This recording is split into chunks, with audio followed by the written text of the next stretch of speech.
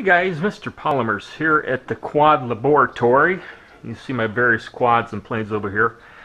Well, guess what, folks? I finally figured out what's going on with this Hubsan H501S.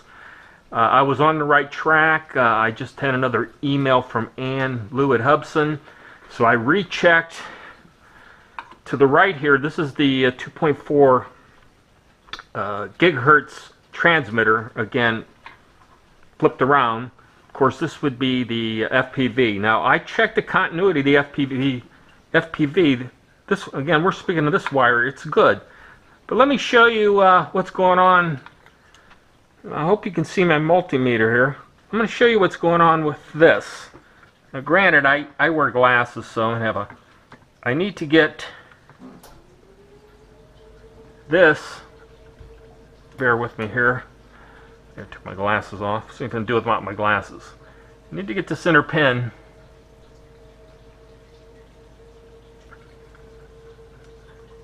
Damn.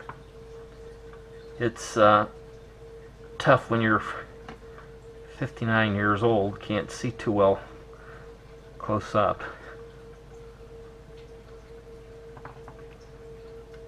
Okay, folks. Take a multimeter. You get this you put this probe on the inside of this pin, if you can see it. Okay, I'm inside. Now watch what happens when I touch the pin on this.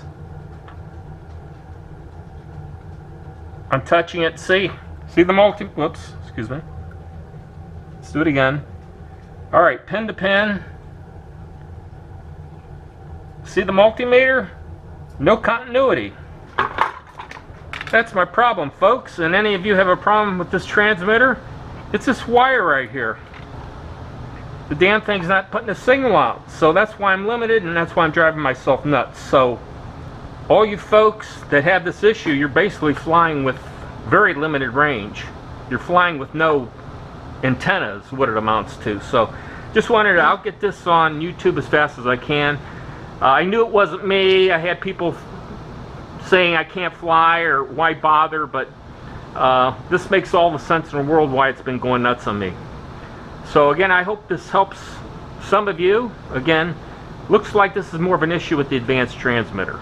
So what's ironic, I did test these already, but apparently I was more focused on the FPV than this one, and I just kind of overlooked that the inner uh, lines, so the interconnection. So we'll talk to you guys later.